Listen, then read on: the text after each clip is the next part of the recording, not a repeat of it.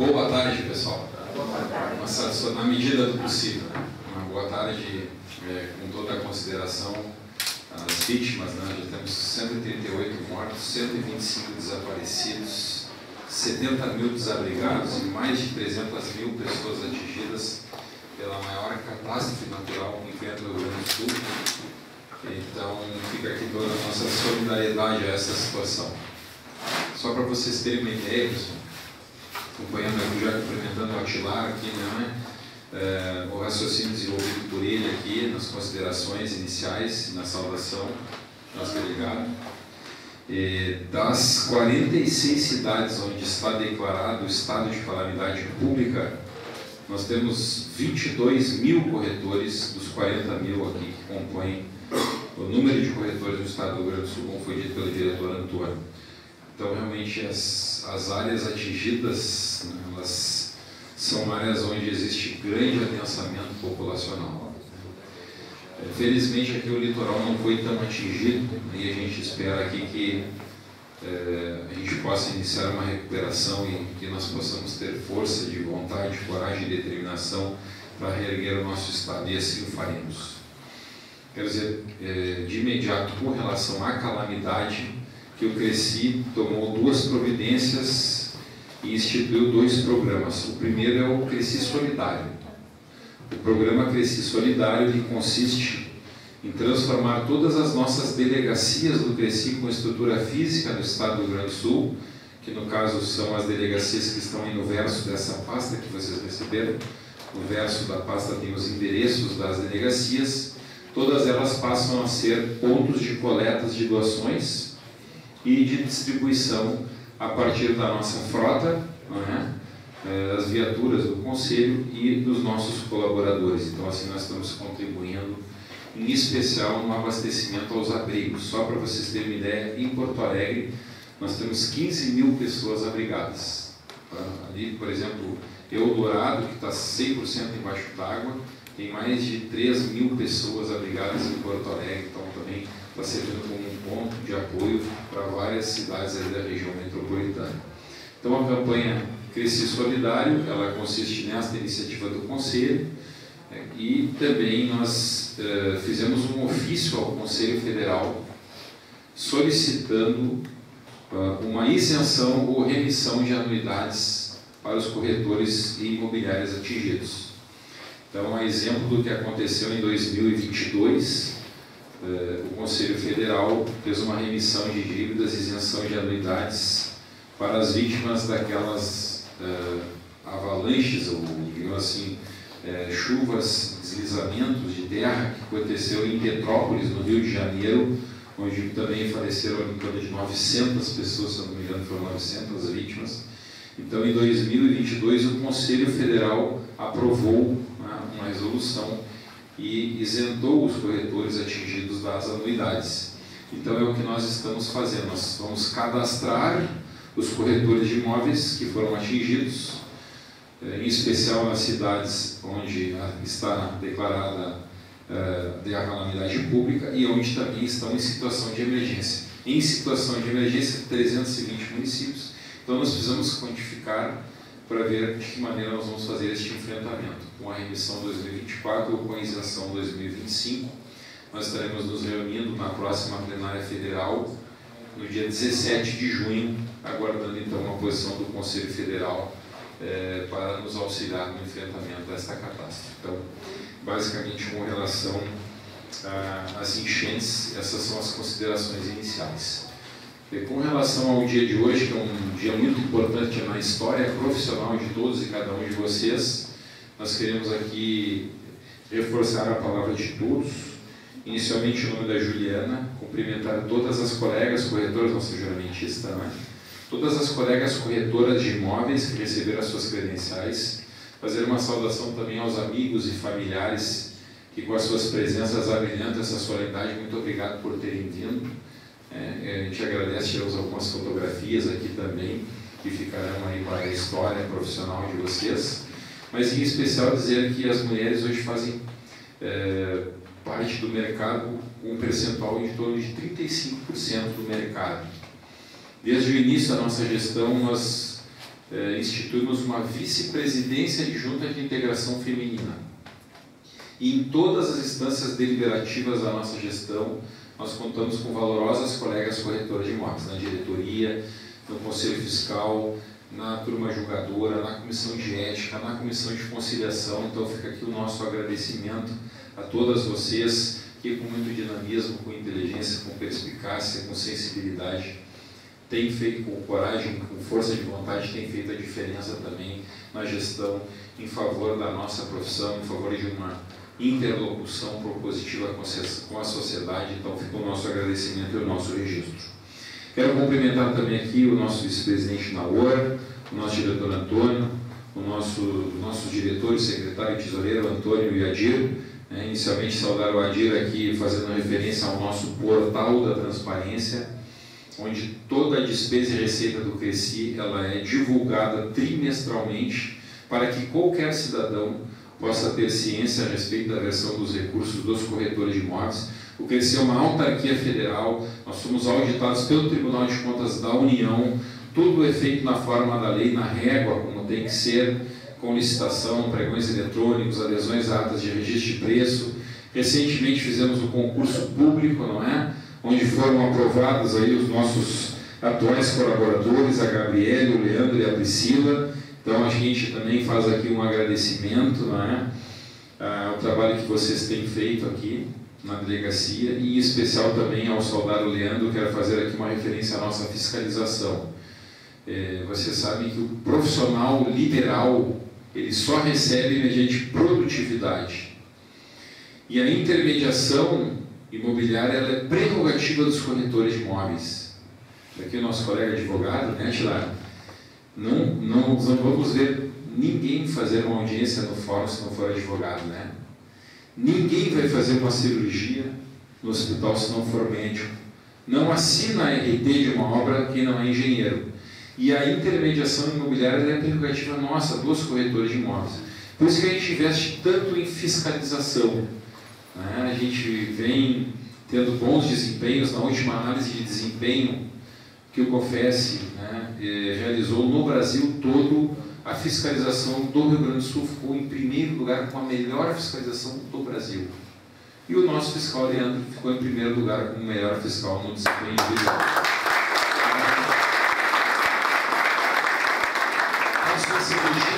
A gente sabe que aqui, né, o Leandro também já nos trouxe alguns relatos, é muito difícil, às vezes, tem um zelador, um porteiro, um síndico de prédio ali, não é? Que nos tira o pão de cima da mesa. Então, nós queremos reafirmar com vocês compromisso em manter altiva a nossa fiscalização.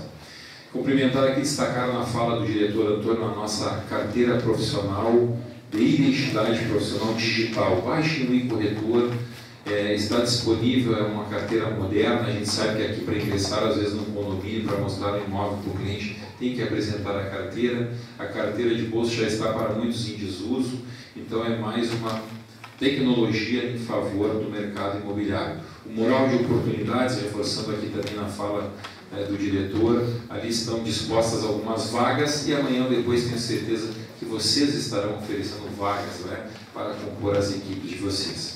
Em especial também aqui destacar na fala do nosso vice-presidente os cursos gratuitos que o Cresci oferece na plataforma EAD.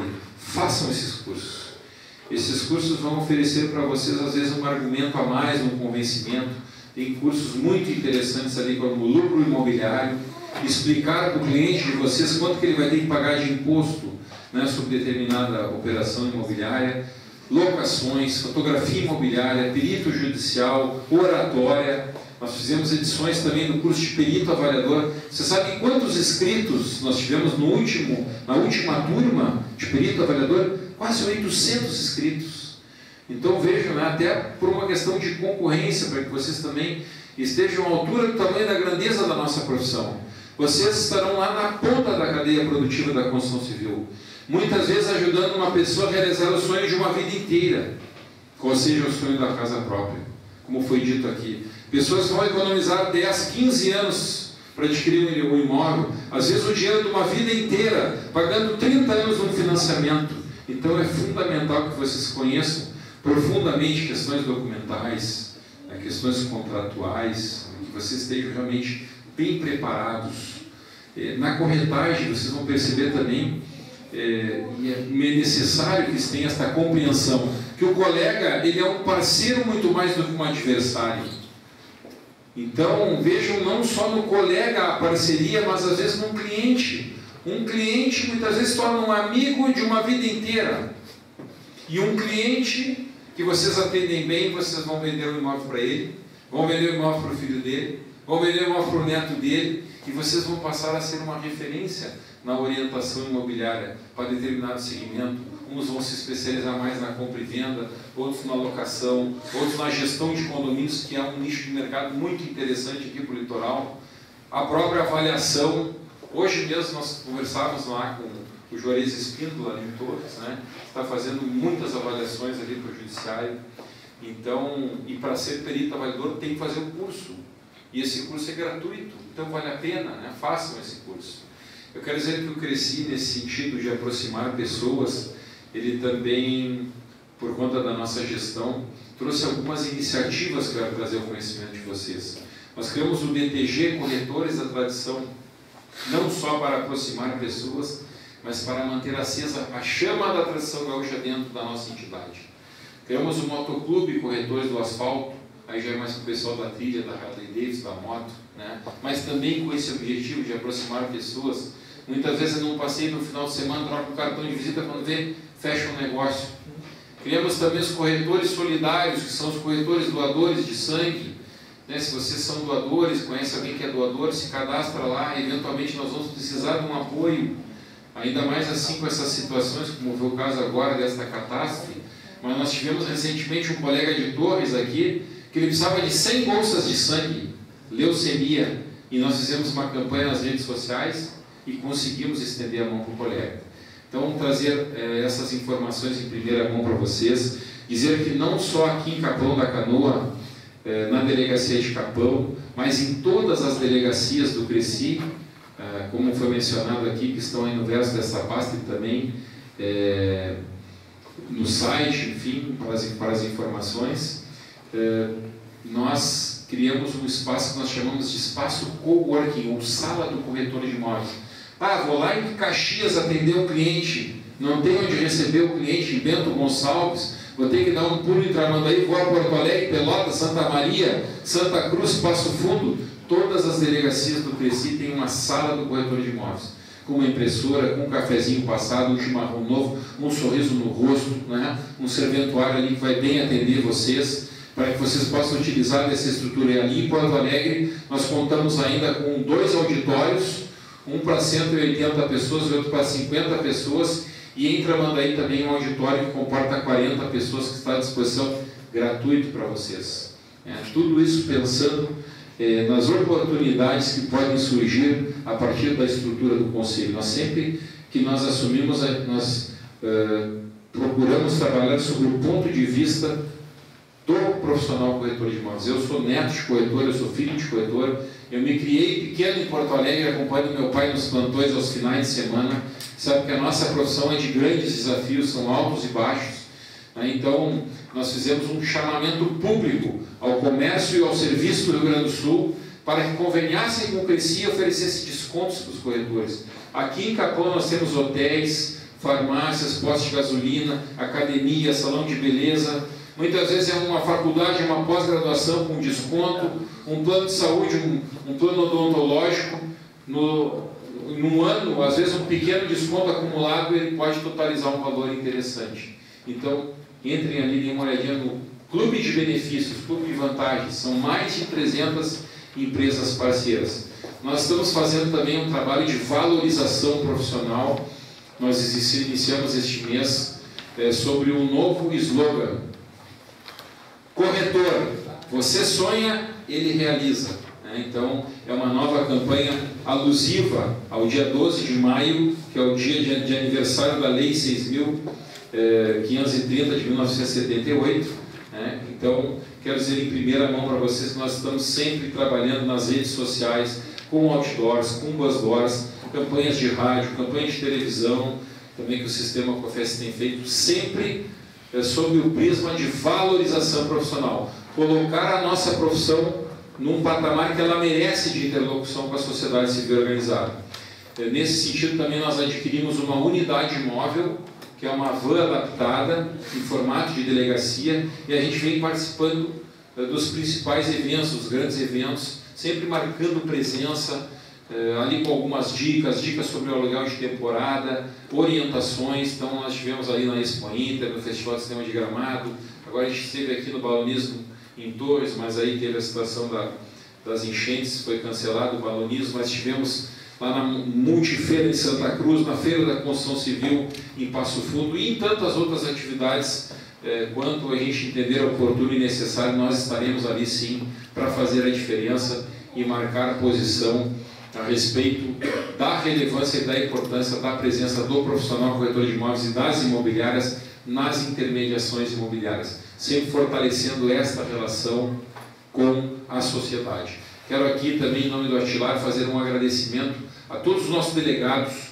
subdelegados, delegados adjuntos, são colegas corretores abnegados, não é? é que voluntariamente têm feito este debate, muitas vezes trabalhando para agilizar as guias de TBI, debatendo alterações no plano diretor, planta de valores de PTU. Né? A gente vê assim, o Atilar, a gente quer aqui fazer um agradecimento a Capão da Canoa. Né? Porque não, é, não só é nosso delegado, como ele é conselheiro eleito do Cresci, faz parte do nosso conselho pleno.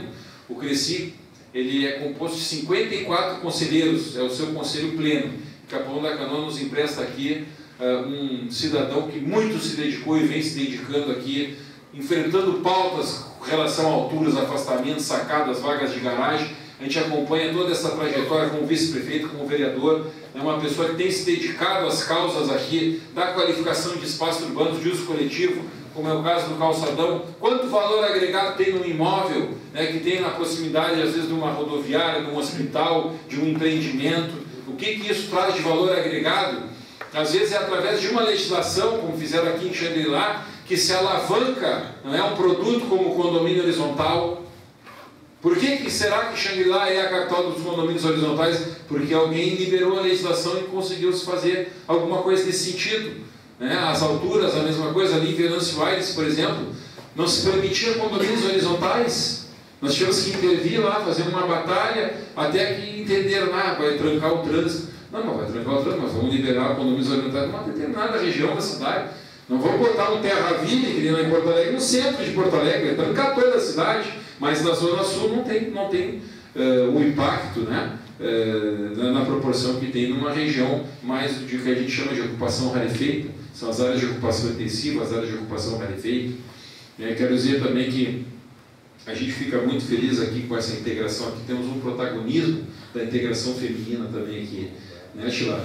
Então, a gente traz em primeira mão todas essas informações, e também nas delegacias nós temos o nosso uh, o empréstimo de livros, né, o espaço literário, que é uma iniciativa também que visa incentivar a leitura. É, mas hoje, então, quero também aqui fazer uma saudação muito especial ao Itarajara, que é o nosso vice-presidente de integração racial, que nos acompanha aqui. Também foi atingido, ele que mora ali no bairro Farrapos. A casa dele foi com água até o telhado e ele está aqui também né, nos auxiliando aqui a fazer este trabalho, trabalho tão nobre, não é, de representação classista, voluntária e também a nossa solidariedade aí a ti a todos os nossos irmãos gaúchos. Muitos perderam muito, alguns perderam tudo e alguns perderam a vida, pessoal. Eu quero dizer para vocês que eu tinha um colega, um parceiro nosso, eh, que fazia hemodiálise duas vezes por semana. Sábado ele chegou no Mãe de Deus para fazer hemodiálise, estava tudo embaixo d'água segunda-feira nós enterramos o colega. Né? Então, a proporção dessa catástrofe é muito maior do que a gente enxerga. Né? E ainda nós seremos surpreendidos quando as águas baixarem, mas nós haveremos de ter força para reerguer o nosso Estado, reerguer a nossa capital, reerguer os nossos municípios. Cada um fazendo a sua parte, nós faremos a diferença para reerguer o Rio Grande do Sul. Então, parafraseando o Charlie Chaplin para concluir aqui, quero deixar também uma mensagem de otimismo, apesar de toda a dificuldade né, agradecendo aqui na retaguarda aqui o Juliano, né, o Wagner, o Felipe, que nos acompanham aqui junto com o Renato da TV Cresci, né, todos aqueles aqui que fazem parte hoje da nossa comitiva. E a minha mensagem diz assim, ó, lute com determinação, abrace a vida com paixão, perca com classe e vença com ousadia, porque o futuro pertence a quem se atreve e a vida é muito para ser insignificante. Parabéns, sucesso e que Deus ilumine a caminhada de todos. Muito obrigado.